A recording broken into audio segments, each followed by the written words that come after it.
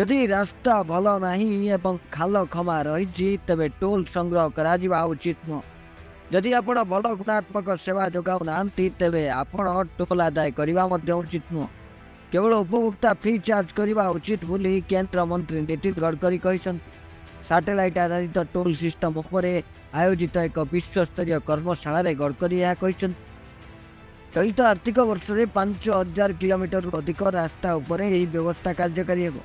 ଯେଉଁଠାରେ ସର୍ବୋତ୍ତମ ଗୁଣାତ୍ମକ ରାସ୍ତା ପ୍ରଦାନ କରାଯାଇଥିବ ଯଦି ରାସ୍ତାରେ ଖାଲ ଏବଂ କାଦୁଅ ସେଭଳି ରାସ୍ତାରେ ଟୋଲ୍ ଚାର୍ଜ କଲେ ଲୋକମାନେ ପ୍ରତିକ୍ରିୟା ପ୍ରକାଶ କରିବେ।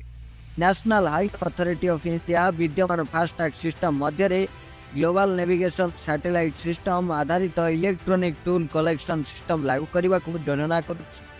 ପ୍ରାରମ୍ଭରେ ହାଇବ୍ରିଡ୍ ମଡେଲ ଏଥିରେ ଯେଉଁଥିରେ ଉଭୟ ଆର୍ ଏଫ୍ ଆଇ ଡି ଆଧାରିତ ଟୋଲ୍ ସଂଗ୍ରହ ଏବଂ ଜିଏନ୍ଏନ୍ଏସ୍ ଆଧାରିତ ଟୋଲ୍ ସିଷ୍ଟମ ଏକାଠି କାମ କରିବ ବୋଲି ସଡ଼କ ପରିବହନ ଏବଂ ରାଜପଥ ମନ୍ତ୍ରୀ କହିଛନ୍ତି।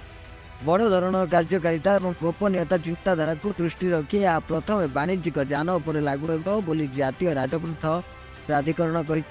ପରେ ଘରୋଇ ଯାନରେ ମଧ୍ୟ ଏହି ବ୍ୟବସ୍ଥା ଲାଗୁ କରିବାକୁ ଏକ ପ୍ରସ୍ତାବ ଅଛି। ଠକେଇକୁ ଚିହ୍ନିବା ପାଇଁ ଏନ୍ଏଚ୍ଏଚ୍ଆଇ ଡ୍ରାଇଭର ଆଚରଣ ଏବଂ ତଥ୍ୟ ବିଶ୍ଳେଷଣ କରିବାକୁ ମଧ୍ୟ ପରାମର୍ଶ ଦେଇଛି। ब्यूरो रिपोर्ट न्यूज़ अल्लाह ट्वेंटी फोर इंटू सेवन